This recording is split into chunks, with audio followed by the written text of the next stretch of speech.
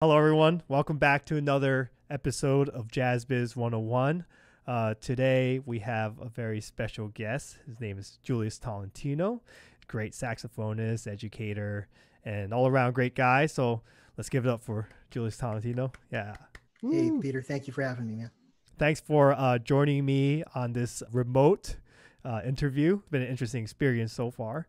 And um, this is definitely going to be a great talk. So I just want to get to know, like, what are you doing in this current COVID 19 situation? As we all know, it's like, it's been kind of crazy um, and just trying to adapt to new environments. So, uh, what have you been up to? I've been thinking, I think in the beginning, like everybody else, it was just pure shock. And, you know, uh, for a minute, it was just like you didn't know what to do with your time because you had so much, you know, time at home and not leaving the house and no gigs. And, you know, my school closed down. So then we started teaching remotely, and uh, things have been actually more busy now than ever. And it's it's crazy. It's nice to be home and be able to be this busy and not have to leave the house. It's, you know, because I get to still spend time with the family. Um, yeah. But you know, it's craziness. Everybody's online, um, doing school or you know work, and it's it's a different different time. But you know, I think we'll all be better off, you know, after we get through this. And, and I've just learned so much about myself, so much about my teaching, and it's been it's been it's, it's been a positive thing in that way.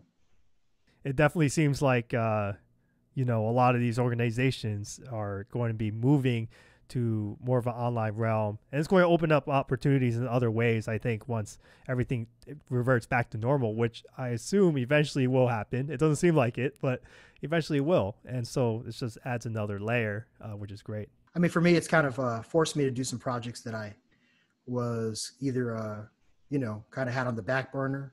Mm-hmm. um, but now it's like it's come to the forefront. I just have to get it done because it's the time to do is now. So that's what we're doing. How have you actually transitioned um, some of your business, uh, both musically and you know just in the education realm, uh, to an online space?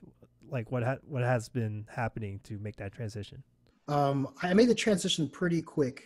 Um, just when I realized that we would be doing so many things online, I, I already had a lot of the equipment. I went back to my school and got a lot of things that I needed, and I ordered, you know, a bunch of things right at the beginning. Um, so, because I'm familiar with teaching online, uh, I, I, teach students all over the, the country. Um, I've been doing that for a little bit, but but knowing that I was just going to be doing that entirely, I wanted to make sure I was set up. My, my attic, uh, like a space to just record and Zoom, and mm-hmm. you know, so I have a nice little space up there, and and uh, getting the Ethernet cables was actually really key in my oh, household. Oh, okay. Because yeah. uh, the kids are online doing school and you know the wi-fi gets gets funny when everybody's on it. So you have to be able to have a solid feed. So that's been a big big difference. Yeah yeah for sure. And i think just to give people context um you know actually known julius for a very very long time. Um actually had you as a uh, region jazz director back when i was in high school.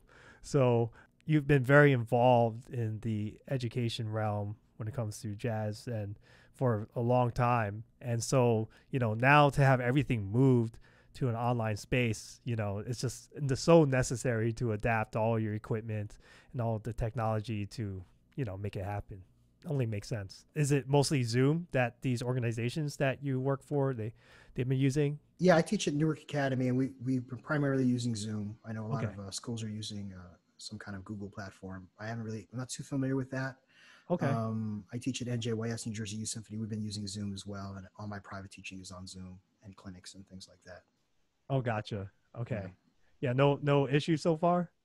No, I mean, I mean, I think in the beginning when I, you know, when I didn't realize that uh, it was, you know, it was a Wi-Fi issue, and and you know, you figure out ways to teach your ensembles differently. Like I said, like I, I feel like I'm, I'm learning right. something about my teaching every time I do this. Mm-hmm. Um, teaching a big band is it's not the same when you can't play next to each other. So how do you make make uh, that time you know important and significant and and get become better musicians as a group as a, as a director? So it's it's been a great it's been a good process I have to say. It's unfortunate the circumstances, but I, am learning a lot and I'm, I'm just trying to take the positives out of it. Yeah, yeah, makes a lot of sense for sure. Yeah, and and you know my re- my reach is is just way, it's way bigger now. You know, like to be able to to reach students, you know, Mhm. all around the world now. It's it's it's it's interesting how it's all coming together. Well, actually, just to give everyone context, uh, if you haven't done so already, please watch uh, Julius's uh, video of the Newark Academy students uh, performing as a big band. It's all put together like those ensemble videos you've been seeing, but uh, Julius did a really great job, and uh, he did that all through these programs he's about to uh, talk about and how he learned.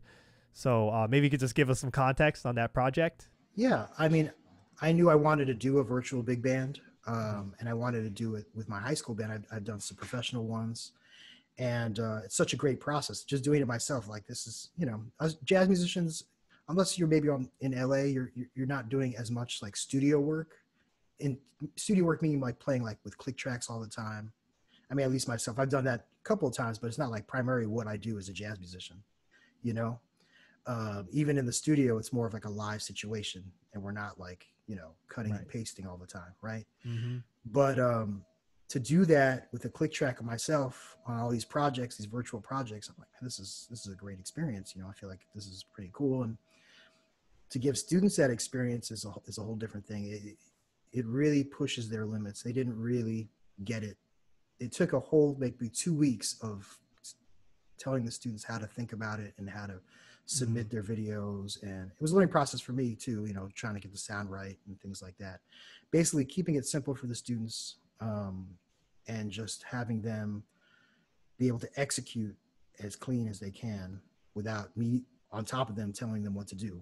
You know they're in their rooms by themselves listening to a click track. It's a whole different thing it's Yeah. not easy and uh, i felt pretty defeated at first honestly like hearing my students like kind of send back the recordings they were sending i was like oh man i have failed as a director these kids cannot play to a recording but uh but i realized it was just it's just a totally different experience and they just needed they needed some time to do it just like anybody would Yeah. um Look, professionals even have a hard time. Yes, You know yeah, that. You know. yes that's what i was trying to explain to them and i feel like you know we're getting better as a band by doing that um Mm.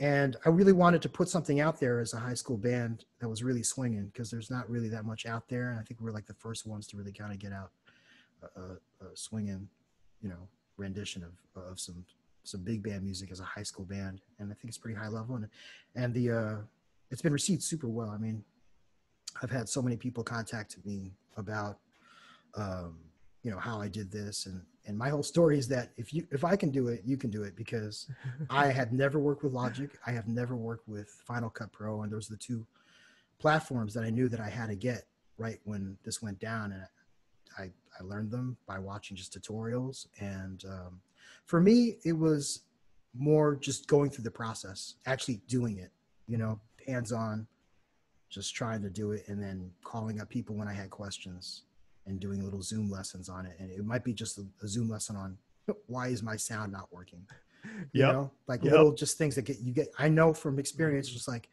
i'm just going to reach out to somebody because i will spend a whole hour trying to figure this out and look it up on an hour tutorial when i need this five second information so just reach out to people you know and you know i'm creating all these shortcuts and trying to put it in in, in, in some kind of format for for band directors and for professionals and and students that want to do this on a smaller or a big you know bigger platform or you know whatever project they want to do um, I'm going to be giving a, uh, a webinar in uh, I think it's May 6th.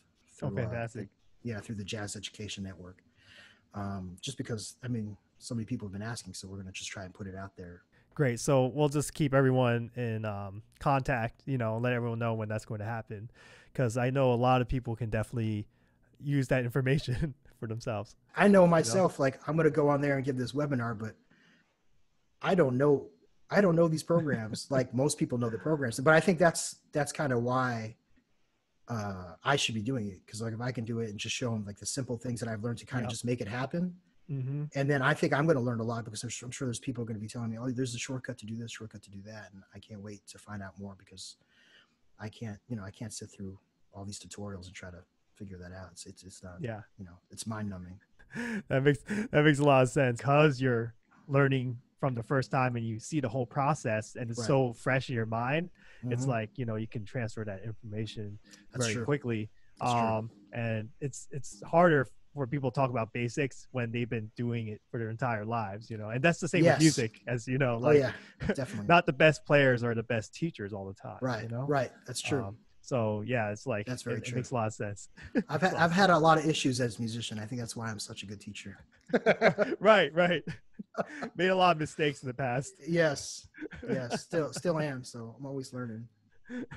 the programs uh, just to reiterate that you used um, to create this virtual big band it was final cut um, pro and um, logic pro x pro right? So and these are apple exclusive just so people know. Sorry pc users you're gonna have to find some other way.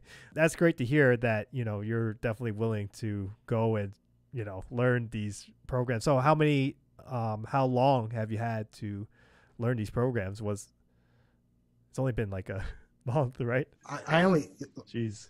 Logic. I logic was a little easier to learn because Mhm. I, I had a little familiarity with uh, Pro Tools, uh-huh and I'm actually liking Logic a lot more. It's a lot of fun. I, I kind of I'm really enjoying it once I started, you know, being able to get through those uh, those stuck spots.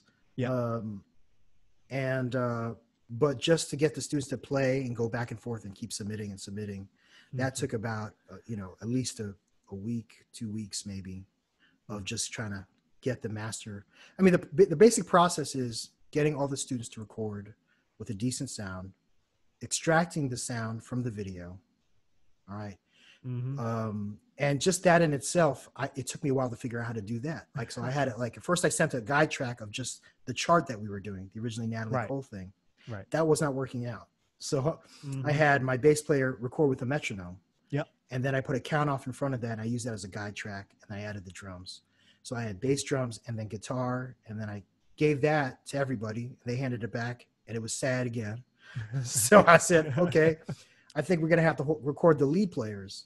So we recorded the lead players so everybody could have like, you know, because those are usually strongest players, especially in high school. So they're, they're playing great or, you know, maybe not so great. I just have them do it over again and get some, you know, decent lead playing. Then I hand it to the rest of the band.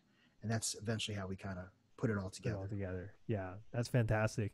Yeah, it's definitely uh, good to create a process and understand how these, you know, just like any other band, like knowing how who's the stronger, strongest players and really utilizing their skills to help with the overall teamwork. It makes a lot of sense, you know, in this sense.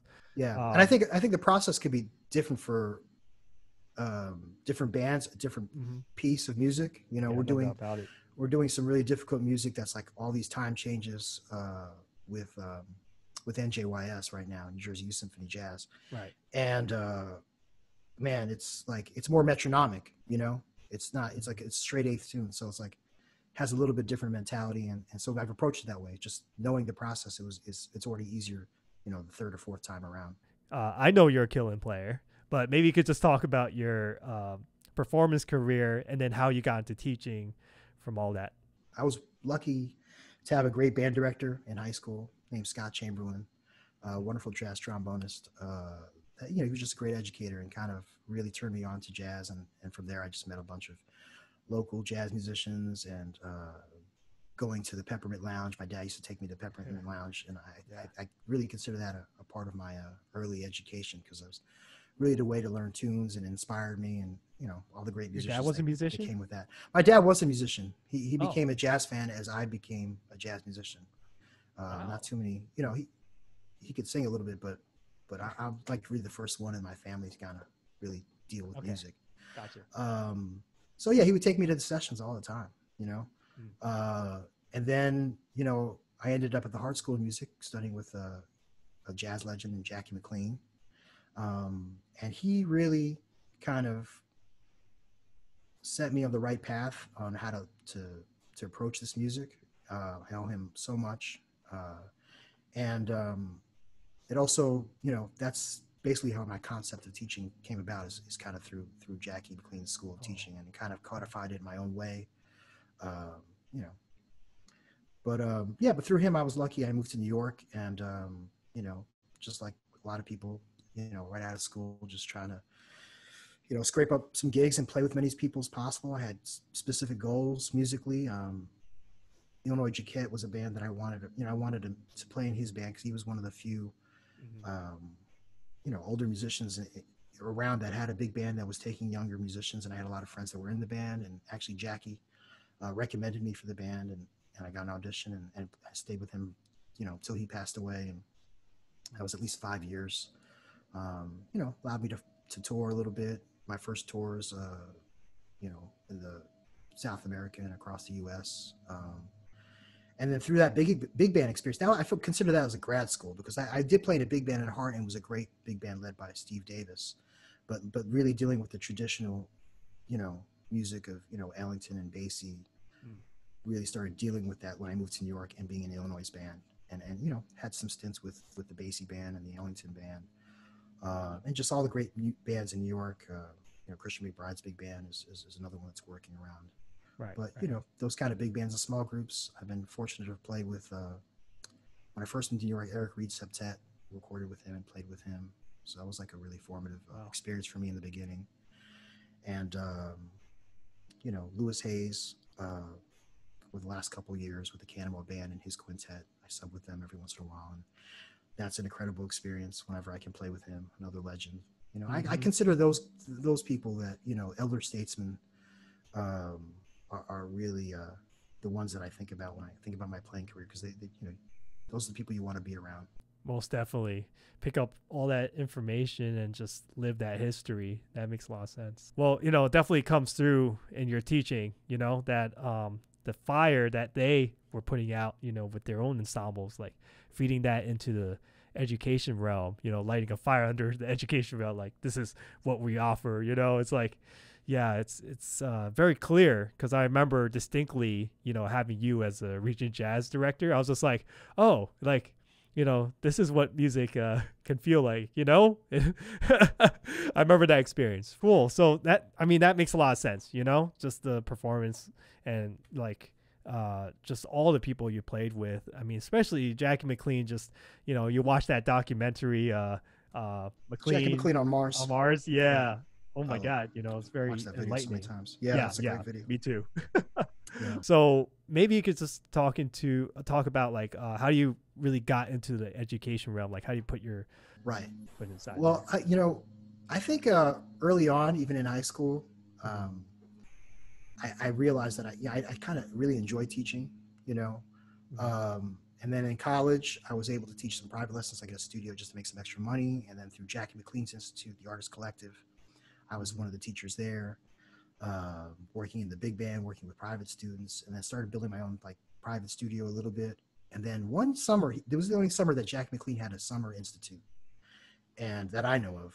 And um, besides the Artist Collective summer program, like he had something at Hart, and I was staying at Hart, so I was like one of the teachers. I was- I got to teach side by side with Jack McLean. It was pretty crazy. wow. Um, and then I started developing like ways to teach younger students how to play the language a little bit and kind of, you know, my thing is, um, you know, I, I struggled a lot with uh, my ears, you know, in college, and, and, and I Mhm. studied really hard to kind of work on that, realizing how, how important that is. The important, you know, once that's one of the main concepts of trying to become musicians, to kind of get bigger ears and, and, and hear, be able to hear everything.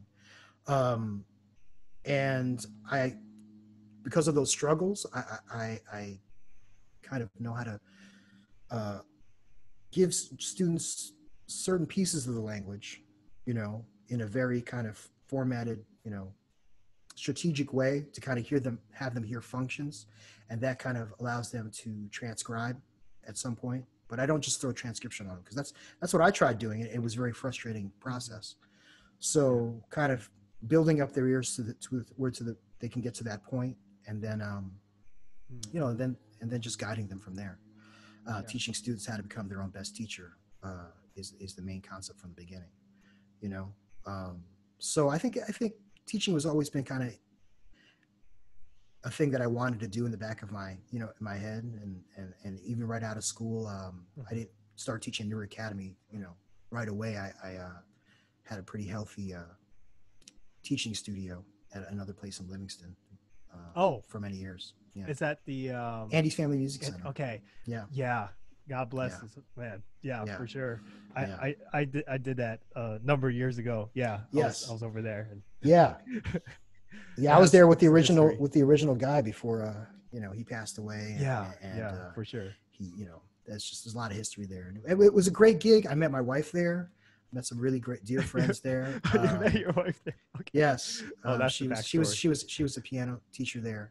Okay. Uh, so um, and you know, it was one of the few kind of teaching gigs like that where you could actually get uh, health insurance. So I, you know, Yeah. in New York, I had right. health insurance. I had my first baby on that, you know, health insurance, and it was, Wow. you know, so Yeah. it was, it was now you have three. Yes, now you have three. three. Yeah. But uh, yeah, you know, I think uh, teaching is not for everybody. I mean, you know, I, it, it's it's funny. Like nowadays, it's like, um, you know, you like to think that you know, if you're playing this music, you definitely want it to teach it, and it's it's a part of the music, you know. But but I don't think everybody's necessarily cut out to be a teacher, you know. Mm. Um, for me, that's like I, I, I, you know, if I don't teach, if I'm not in front of a band every day, I'm, I'm, I'm literally like having dreams about teaching. So it's just like being off the bandstand for a couple. You know, if you're not Wow. gigging that much, you have dreams. It's the same thing. It's like they come hand in hand for me. It's like I can't do one without the other now, and um, I love that Wow. aspect of, of of I just love teaching. You know, that's what that's what I feel like I really have. That's my calling to, to kind of do, and that's. Um, Well, but I see, you know, I see, I see a lot of teachers. You know, I see a lot of musicians that try to try to teach because it's a necessity, and and you know, I mean, I, I understand hard. that, but it's Mhm. it's it's uh, there's a lot of uh, when you're dealing with, with with especially with young students, you know, I think that can be that can be hurtful too. You know, if you don't have the right Yeah. personality and the right, Right. Uh, social skills to deal with with students, you know, it's it, it's it can be a fragile experience for them if, if you're not you know Yeah. doing good for them. So. That's true. That's true. Uh, what would you say are signs that you aren't a great teacher? I mean, Aren't like, a great teacher. Not a great teacher, but I guess like what I'm saying is, uh, how do you know where to improve? Because you know, obviously, you know, a lot of people come out with performance degrees. They don't tell you like, oh, this is a sign that maybe you should work on this aspect of your teaching, right? Like, yeah. So how? What are the what are some signs that? I mean, there's different teaching. If you're teaching privately, I mean, I, in any teaching, I think organization is, is a big key. You're not Mhm. not not all musicians, not all people in general are, are organized uh, with their time and with the way they approach everything. Like I, I, I kind Mhm. of, I'm pretty analytical with how I break things down, um, and that's how I teach. Uh, so, yeah, you know, organization is is, is key. Um, it's a it's a That big makes a lot of sense. it's a big part of it. Um, you know, just being able to just be able to relate to, to students if you're dealing with young students. I mean, I'm, I'm a kid at heart, so I really enjoy my time okay, hanging with kids. And too. Mhm. yes, I, I try to have a lot of fun with them. Um, and uh, Yeah, you should see some videos, guys. I mean, just the pranks and stuff. Oh my Yeah, god, yeah, yeah, we have they good time. love you. yeah, it's fun. You know, I, it keeps me young. And I one of the great things about teaching is like the more students you you meet along the way, it's like your your family gets bigger and bigger. Because like Mm. You know, and Oh, that's and it's- true. it's like you Yeah. know because you consider them all family but part of your you know like your kids so it's like you, you just they just grow they get bigger and they they go on to have kids of their own and and uh you know it's just it's it's a trip to see uh all my students doing really well and and, and you know we of course still keep in touch and Yeah, yeah, that's a beautiful thing for sure. Continuing the lineage that way too, you know. yeah it's true different ways. Um, but yeah, that that makes a lot of sense. I think that would Yeah. be some good signs. organization i mean if, if you yeah, you know i'm not saying everybody has to have like you know the, the same passion that i have for teaching but Mhm. you you know if you, if you if you're doing the right thing and and and not just going through the motions to to you know Mhm. just for the sake of of teaching you know you teach because you want to teach and, and and feel like you have something to give students and and you know i think once you get the bug of uh seeing a student um be able to you know have those light bulbs go off and, and learn something from you and you know and have it like enrich their own lives you realize like oh man this is this is it this is what i want to do you Yeah. know? yeah. It's that fulfilling kind of feeling that you're you Yeah. get for sure. right. After a long day, and you see that they actually get something that's Right. like kind of a hard concept or something. You know, like it makes Yeah. a big difference. yeah and Um, and and a lot of that happens over a long period of time Yeah. you know so building up that yeah. you know some you know of course there's days where you just see improvement in students like very quickly and Right. most of the time, it's it's it's it's, it's the long haul. You know. I know that you do a ton of stuff, and I don't think that you sleep. Uh, I haven't been But- lately. not not because I've been working. I've been working a lot, but I just can't sleep lately. It's been this whole thing is you know it's it's yeah, it's wearing on everybody. yeah, no doubt about it. But even before this, I mean, like I saw, I see you here and I see you there, and there's a ton of stuff that you do. Um, so and plus you have a big family. So what's like some good time management techniques that you implement into your life to make it all happen? You know? Well, I mean, I definitely have to give credit to my wife because she's uh, very understanding and super supportive. Um, and she reins me in when I need to be reined in with, with all the amount of things I want to do and, and how to manage my time and, and, and, you know, spend quality time with the family. Now that they're getting older, it's, you know, they're doing music and we're doing projects together. So that's, it's, it's, it's great. Yeah. I mean, I just have a lot of goals. Like every, it, it seems like I get busier and busier every year, but what, it, what, what happens is that, um, you know, there's just like different layers of, of, of everything that I'm doing. And when I look at those layers, I just have to kind of figure out which, which, which of those layers are, are really more, more important to me and which are really fulfilling me artistically, um, sometimes financially, you know, what, what, what is worth doing sometimes financially, and sometimes comes, comes down to that Yeah. and then you know making uh making choices you know every year i kind of reevaluate what i'm doing and uh Mm. trying to you know make the right choices for the next year and and just try to do something new. I'm always trying to do something new and add to spreading you know spreading jazz education in, in some way you know? Mm. first you know lessons teaching Newark Academy it that was like all encompassing you know? But once i started getting a hand, handle on it my got got my groups to a super high level and i've, I've built up a, a, a kind of like a you know it's, it's just built up on itself year after year. So it's it's a well-oiled machine you know and and i'm, I'm always tweaking that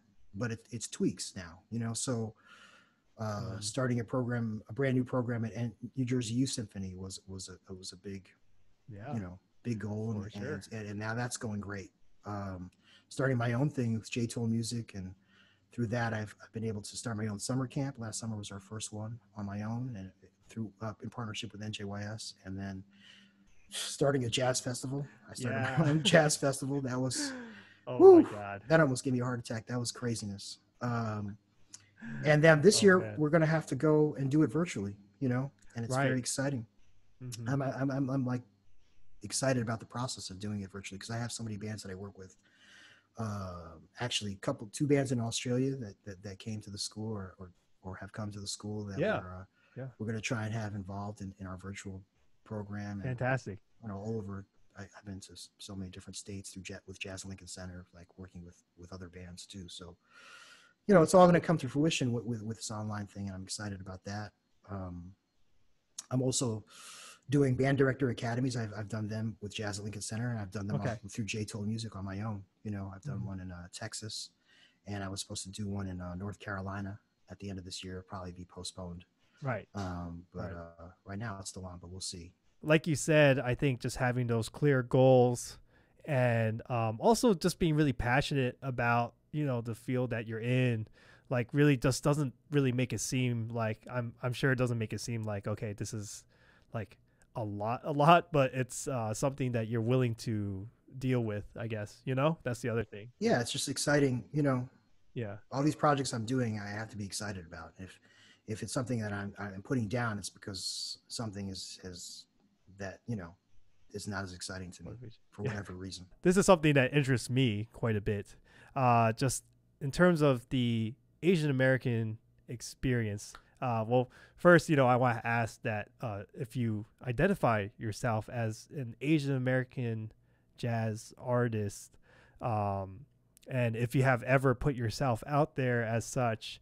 And uh, the other question would be, uh, what does that mean to you? How does that impact your career, or how does that impact uh, whatever you do as a musician? So I'll just leave that up to you. I, guess I identify myself as a, as a Filipino American, you know, Mhm. which is a you know Asian American, but um, you know, I was born in this country. Mhm. Uh, my parents were uh, immigrants, um, and you know, as far as like relating that as like a, a Asian American jazz musician, I, I, Mhm. I guess, you know, how I see music is, um, we all have our, our different experiences. You know, this this music that we love so much is is, is has been developed, you know, and, and you know, come about through the black experience, their hardships in this country. Right. Um, so just learning about the music, you know, like anybody would learn about the profession, you know, and, getting into that kind of, you know, that deep history and, and learning about the culture. That's it's just such a great en- endeavor. But like me, I, I don't necessarily like, um, you know, I didn't grow up with Filipino folk music, you know. Um, Yeah. you Yeah. know my parents actually um though i know i have a lot of shared experience with all my filipino brothers and sisters out there uh, especially you know coming here and having immigrant parents Mhm. um i'm sure like a lot of them we don't speak tagalog or, or whatever na- native filipino language they're speaking because our parents didn't want us to have uh you know uh, an accent they want us to, to kind of blend in and, and be be Yeah. you know pure americans and and, and and especially Filipino culture, they just love American culture. If you go back, to, you know, I've only been back to the Yeah. Philippines like two or three times, and and uh, they just love everything American. So, um, so it's a different, it's a different Asian culture, I think, in some ways, you Uh-huh. know. Um, but I think how that translates to music is, uh, you know, not necessarily like my experience as, uh, you know, like these are my Filipino roots and this is what you know my how my music is different. Not I don't I don't I don't really see it that way for myself. Um, I think I think it's great to hear different people bring so many so much of their culture into jazz music and, and, and keeping the roots of jazz music and, and you can hear all the world influences. It, it's that's awesome. Yeah. But I, I, I you know for me personally you know I, I'm just I'm dealing with you know maybe you know not approaching it like okay i'm gonna bring filipino jazz i don't know what that would be but Right. but- Right. but um but Mhm. my experience as as a you know as a filipino american Mhm. um just being on the scene is i think is interesting and i think representing Right. my culture is is important. You know i, I took part in the filipino jazz festival in uh, at the catalina. They had a There is couple years in a row. There was one for a little bit Oh, it's wow. not happening anymore. Yeah it was it was Okay. that was pretty amazing actually. That was a pretty awesome experience to have all these filipinos come from the philippines and from la and we put on a, a festival uh, on the west coast um, Wow.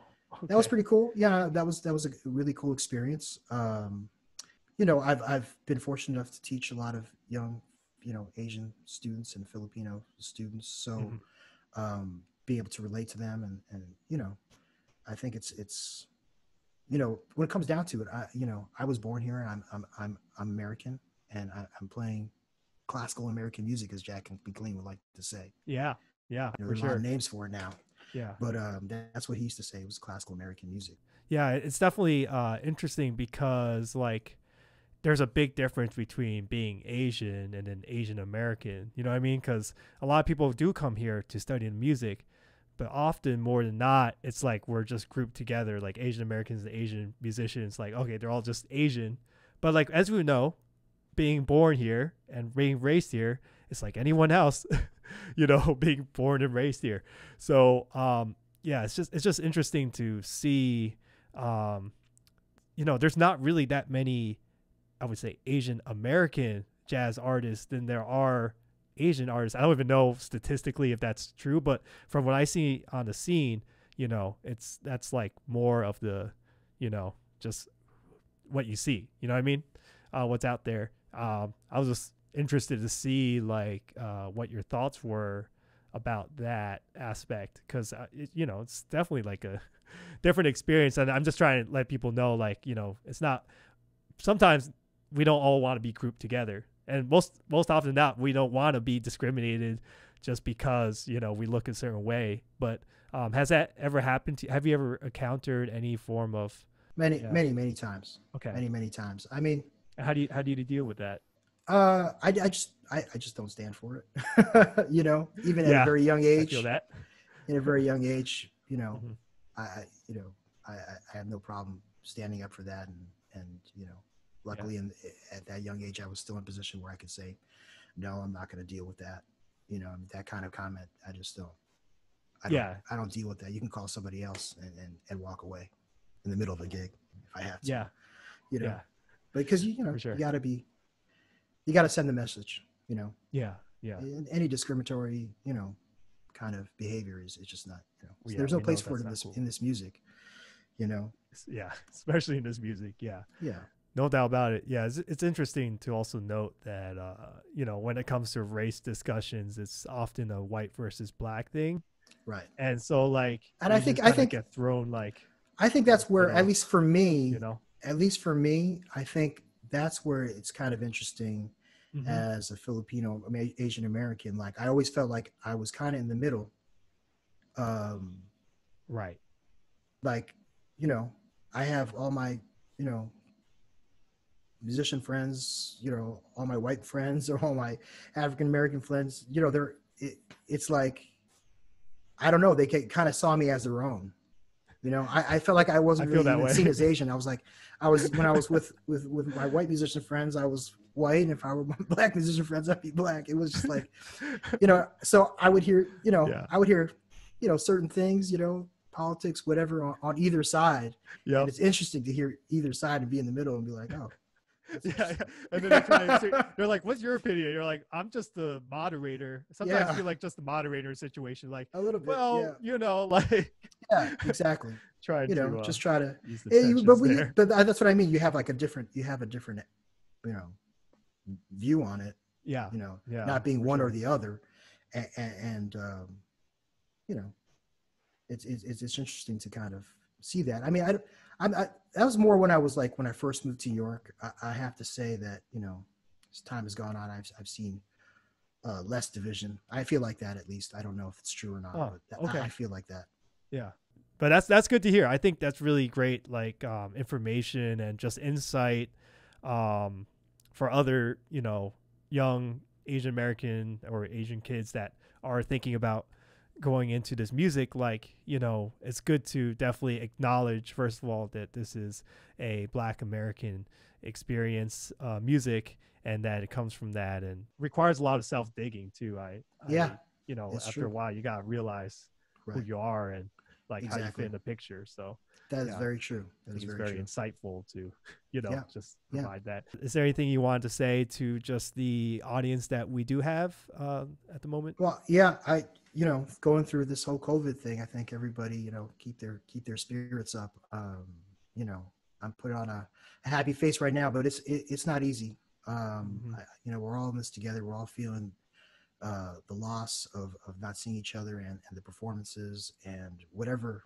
you know, even if you're not a musician, just whatever everybody's going through, it- it's not easy. But you know, I keep telling myself I, I just focus on the things that uh, I'm lucky to have. Um, you know, spend this time with the family, and um, I do feel like uh, I'm learning a lot. You know, more than ever through this experience in my teaching and even in my playing. You know, just kind of doing the projects that I'm doing, Yeah. and um, yeah. And if anybody's seeing this and, and are, are interested in, in whatever teaching on Zoom, I'm going to be doing a little bit of that on the, a webinar too, and uh, you know, trying to create a virtual project or whatever it is. Uh, that's actually what's been taking my time up the most lately. Is like literally like 50 directors have been like hitting me up for Zoom lessons and, and phone Yep. calls Yeah. on just uh, you know how I've been teaching and, and I'm still kind of keeping the level pretty high and, and you know I'm doing my best. I, I I'm willing to share anything. That's what the music is about. So Thank you so much, Julius. thank you, Peter, for having me. this. This is a great thing you're doing, man. Keep it going, man. This is awesome.